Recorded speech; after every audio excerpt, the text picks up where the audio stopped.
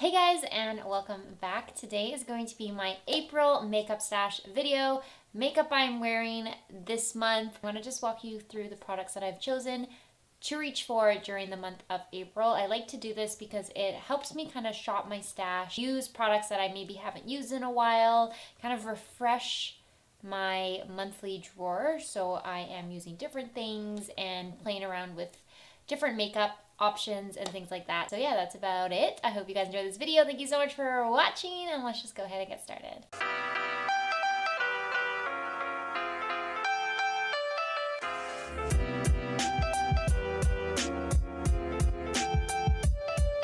I have some coffee today. It is like the cinnamon one from Starbucks. My dad gave me some Keurig pods that are like cinnamon something from Starbucks and they're really, really good. So I'm like on my third cup today. Let's just jump into these products. Primers, I thought I would just update you on one primer that I'm reaching for this month. It is in addition to my Poreless Putty Primer that I use from e.l.f. This is Milani Soft Focus Glow. I'm kind of over these types of primers now because I found a sunscreen that I really like. kind of updated my skincare routine in the morning a bit. So with my new skincare routine, I feel like my skin is really prepped for makeup already and I don't really need a primer or like a glowy primer like this. I feel like the combination of my SPF, moisturizer, toner, all that stuff kind of already gives me glowy skin. So I am kind of over these types of primers, but I do want to get as much use out of them as I can. So I know that this one is on my list of products that I want to finish up this year. I'm to hopefully reach for it this month and use as much out of it as I can before I really just declutter like all of my glowy primers. For foundation products, I have quite a few actually because some of them I just cannot let go of because they're so good and I don't want to remove them from my monthly stash. So the L'Oreal True Match Nude Hyaluronic Tinted Serum in the shade 23 Light. I love this product. It is so so amazing. I just don't like the applicator because it's like messy drop applicator, but the actual product on the inside is so good. Whenever I go out, which I'm starting to do more of now, and whenever I do, I reach for this because it's so good and it just makes my skin look so beautiful. Then of course my L'Oreal Age Perfect Tinted Balm in the shade 20 Pale. This one is amazing as well and I want to keep it in my makeup stash because when I go to my parents for the weekend, I will throw this one into my bag and that's one I travel with and I'm also going to be going on a couple trips. Well, not really trips, but I'm going to our family cottage for Easter weekend, and I'm also going to the island, like Vancouver Island, um, at the end of April as well. So I know that I'm going to be bringing this guy with me. And then a new product, one that I'm wearing on my face right now. I kind of forgot I had this. It's the Wet n Wild Tinted Hydrator Tinted Skin Veil in the shade light medium and I'm wearing it on my face today and I actually like this product. I tried out a lot of tinted moisturizers, tinted serum type products in foundation February 2021, and this was one of them. I got rid of the L'Oreal Paradise Skin one, or Skin Paradise, because it was the wrong color match for me. And I think I got rid of another, oh, the Milani Glow. I got rid of that one as well, but I hung on to this one and I can't remember why. So I decided that I would reach for it again, and I'm really liking the glow it's giving my skin right now. I feel like I look very hydrated and dewy, and I'm really liking it. So Thought I would play around with this one again this month. Then I also have new that I just picked up and I just filmed a video on it so you guys will either be seeing it soon or you've seen it already. But it is the Maybelline Green Edition Tinted Oil. It's their Super Drop Tinted Oil in the shade 040. I'm not going to do any spoilers because I don't know which video is coming out first. Also, my eye is like killing me. Another kind of dropper foundation. I'm not a fan of the droppers. They're just so messy. But the products tend to be really good when they come in these like dropper things. But yeah, this is on my list this month and you guys will see it in action um, very soon. Bronzers are all the same, so no updates there. A couple updates on the blushes. Well, I think this one is like every month. It's the Cheek Heat from Maybelline in Nude Burn. Also, their Cheek Heat in Rose Flush. This might be new this month. I don't know. I'm trying to like use both of these up and kind of clear out my collection. So I'm more finished or I'm almost finished on the nude burn. And then I wanted a powder blush and it's the one I'm wearing on my cheeks today. It is from Miniso. It's the Color Me blush, which is in the shade I don't know. It actually doesn't have a shade name. So it's just this like pink one. Oh, number six maybe. I think it's shade six. But they sent this to me, I think last year, and I haven't really reached for it that much, but I love it. It makes my face look so healthy, glowy. It's matte but illuminating at the same time. Like I don't have a highlighter on and I feel like the blush looks really, really good. So have been loving this little guy and I am excited to reach for it again. I love these like soft pinks. I think they work the best with my skin tone. I have been really trying to find products that work for my skin tone and my skin tone is pretty hard because it is olive and neutral. It has a little bit of yellow in it. It's a little bit warm and it's just so hard to get shades that work for me. But I have discovered that cool tone blushes work really well and I like them more than warm tone blushes and I love this little pink. Like soft pinks, rosy blushes are so works so well with my skin tone. Eyeshadow palette of the month is actually I think I chose this one last April but I just couldn't not I could not not choose this one because it's just such an April palette. It's Flutter by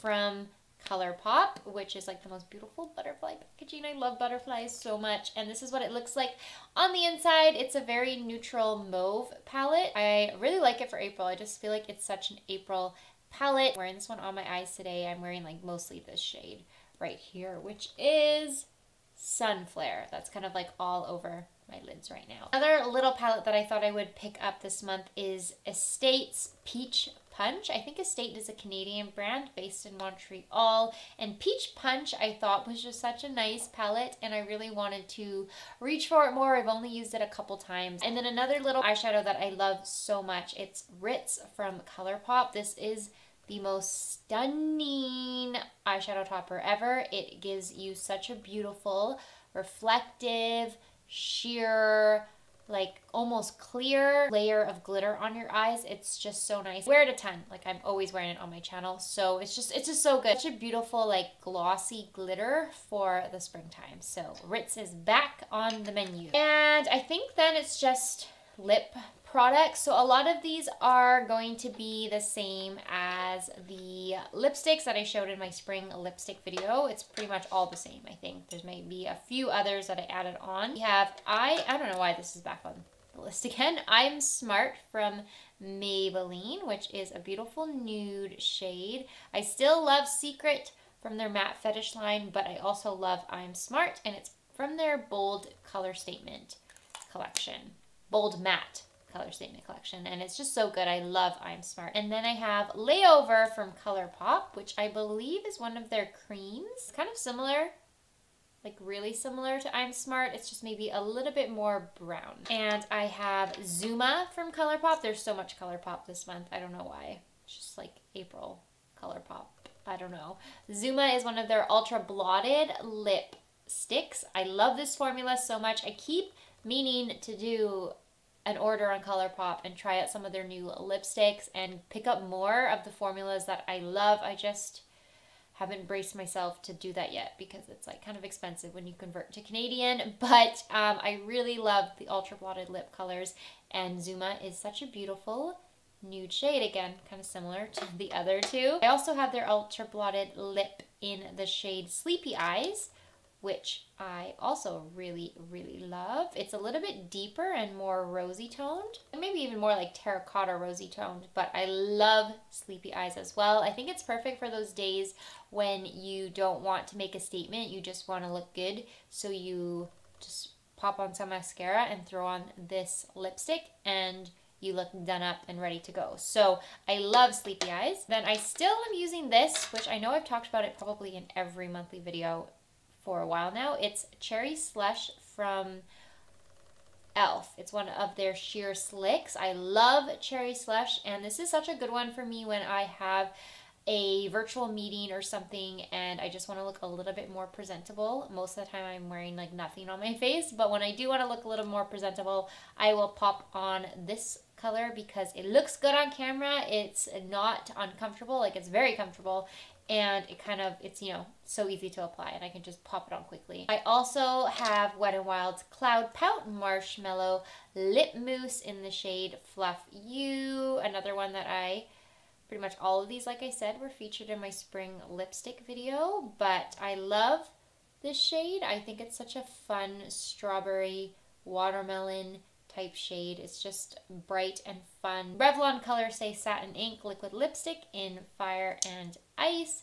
Again, kind of along the same vein. It is just a brighter version pretty much of that e.l.f. Not e.l.f. A brighter version of the Wet n Wild Fluff You shade. It's just brighter, deeper, more bold, and it's an amazing formula. I cannot rave about this liquid lipstick formula enough. Oh, and then on my lips, what I'm wearing is the So Juicy Plumping Gloss from ColourPop in the shade Dress Code. It's kind of hard to swatch this one because it's like a gloss, but I'll just give it a little swipe. It's such a nice gloss. It has this like cooling minty sensation on your lips, but it looks so glossy and it's not sticky. It doesn't make those like, you know, connecting lines between your lips. It's just really, really good. Actually, underneath dress code and what I've been reaching for more and more often is Spice from Milani. It's one of their color statement lip liners. And I don't know, I just started wanting to reach for a lip liner more. So I threw Spice in the bag and I actually think it pairs really nicely with all the nudes as well as that gloss. But anyway, those are all of the shades that I am choosing to wear this so I hope you guys enjoyed this video. I hope you liked the makeup products that I chose. Oh my gosh, I forgot to talk about concealers. Totally forgot. Concealers. And I had two new concealers that I've been reaching for. The first one, which I don't really like, the more I use this, the less I like it. It's Revolution Pro's Ultimate Coverage Crease Proof Concealer. I have the shade C5.7. It's just so thick and gloopy and it looks really dry on my under eyes. So I'm not a fan of this. If you found a way to make this work for you, let me know. It's just on me, it does not work. But the other concealer that I forgot about and I love is Catrice's One Drop Coverage Weightless Concealer. I have the shade 010 Light Beige. It is a little dropper. I'm not a fan of this application, but it looks so, so nice on the skin. I'm wearing it on my face today and it just looks amazing. I forgot how much I loved it, loved this product. I don't think I love it more than my L'Oreal Age Perfect Radiant Concealer, which I haven't repurchased yet because I have to work through duds like this. I don't think I love this one more than that. It's just, it's good, but in a different way. And I actually think it might be discontinued, which sucks. That sums up this video. I hope you guys enjoyed my choices for April. Let me know what you're going to be reaching for throughout the month. Thank you so much for watching. Don't forget to follow me on Instagram and Twitter. Please subscribe if you'd like to see more videos. And I will see you in my next one.